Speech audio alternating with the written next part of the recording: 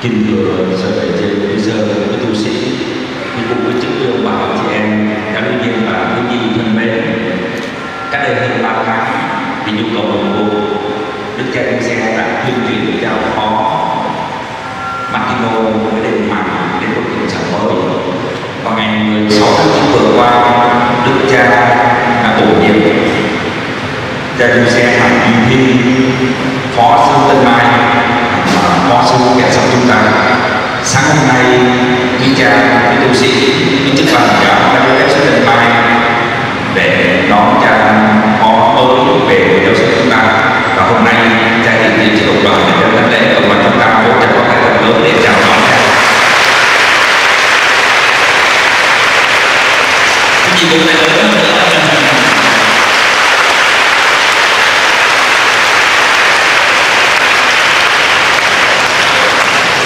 giáo sư kẻ giáo giáo sư có truyền thống bằng đạo đức nhiều nhiều sinh hoạt rất cần là chào phó để hợp tác với cha sư với giáo sư giờ đây cha hiện diện với giáo sư cũng có cũng có thân mong chào đón và xin kính chúc cha sư phụ mới tại giáo sự cảnh sạch này. Được chào mẹ con chúa, được sức khỏe bình an. Và công tác công vụ gia đình nhiều thuận lợi tốt đẹp. Xin giới thiệu cộng đoàn và xin chào cha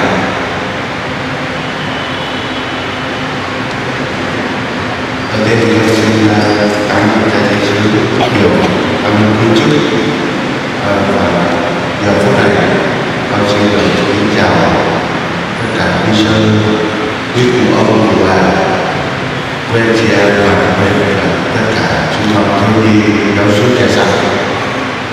con rất vui mừng khi nhìn thấy cộng đoàn giáo suốt trẻ sạch và các anh nhân viên của chúc ngày hôm nay. Con là con cha ở đây cùng với để công tác với cha trong công tác phục vụ cho giáo sứ như trưa nay con đã thưa là con đã trở thành một thành viên của gia đình giáo sứ trẻ sạch vậy con xin ờ, cha bây giờ quý sơ quý chức quý cụ ông cụ bà quý bà cố của tất toàn thể quên bà, chị em chúng con thiếu nhi cầu nguyện cách đặc biệt cho con được Chúa và làm giúp sức có thể thực hiện những việc mà Chúa muốn khi phục vụ tại gia đình giáo sư nhà sản con xin kính mời cảm ơn Chúa.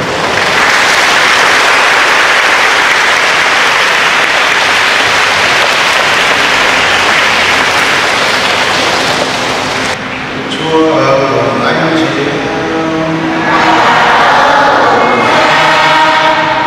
Tin mừng Chúa Giêsu Kitô theo Thánh Luca.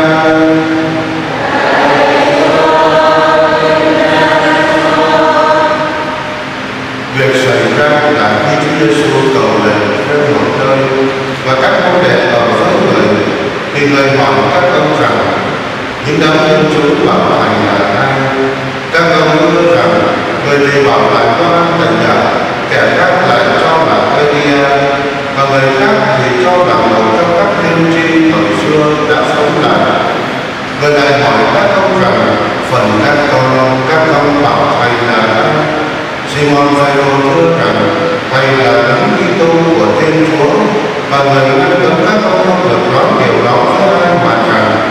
con người phải chịu nhiều đau khổ, vì các vị đạo, các thượng đế và luật sĩ từ bỏ phải giết chết. Nhưng ngày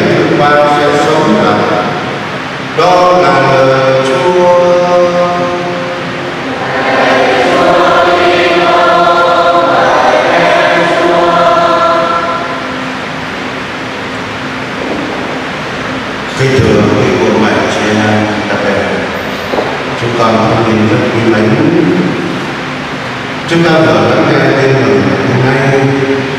trong đó nghe thấy Chúa Giêsu hỏi người ta bảo thầy là ai và sau khi các môn đệ trả lời Chúa Giêsu quay sang hỏi các câu đồ còn các con các con bảo thầy là ai cách đây hơn hai ngàn năm rồi Chúa Giêsu hỏi các môn đệ câu hỏi đó và cho đến ngày hôm nay chúng ta được nhiễm phúc nghe tin mừng của Chúa lập lại cho chúng ta đều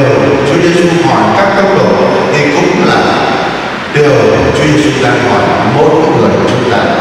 phần con phần con con bảo thầy là ai? Và dĩ nhiên tất cả chúng ta đều có thể trả lời một cách rất dễ dàng. Thưa thầy chính là Đức Giêsu Kitô là tân cứu độ quả thật như thế. Và hơn nữa, chúng ta đã chúng ta không luôn xưng Đức Giêsu Kitô là Chúa. Điều đấy ai cũng làm được và có phải rất dễ dàng nhưng điều Chúa Giêsu hỏi chúng ta hôm nay, phần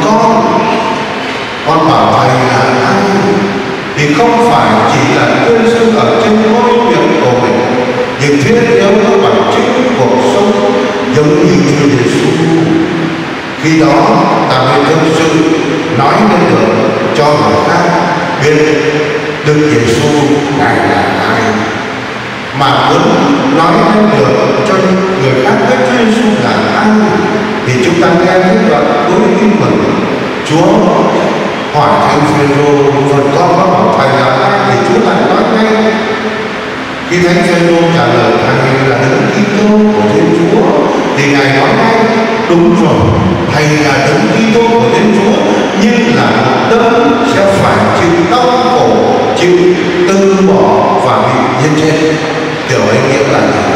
nghĩa là Chúa đang muốn mời gọi tất cả chúng ta cũng phải biết chấp nhận đi vào con đường thập giá của Chúa. Con đường đó mang lại ơn cứu độ cho chúng ta. Nếu như chúng ta không hoàn lại hình ảnh của Đức Kitô bằng chính đời sống hy sinh ăn mình, bằng một đời sống từ bỏ tội lỗi nếp sống, bằng một đời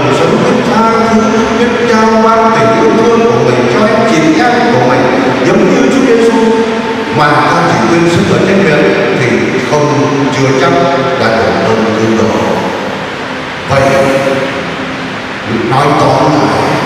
lời Chúa ngày hôm nay đang mời gọi tất cả chúng ta hãy vẽ lại cái hình ảnh của Chúa Giêsu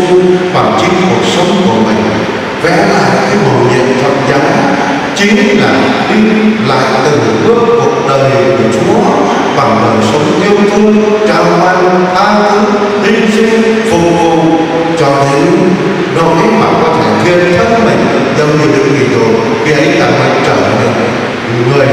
người được Chúa trong người khác mới mang lại ơn cứu độ cho mình và cho anh chị em chúng mình. Xin cho lòng tuyên dương Đức Kitô là Đức cứu độ của chúng ta. Không chỉ dừng lại ở trên môi miệng của mỗi người chúng ta, nhưng nó được diễn đạt qua chính cuộc sống hàng ngày của mỗi người chúng ta. Khi ấy, chúng ta sẽ trở nên con người, con của Chúa và là những người xứng đáng hưởng lấy ơn thánh mà Chúa đã dành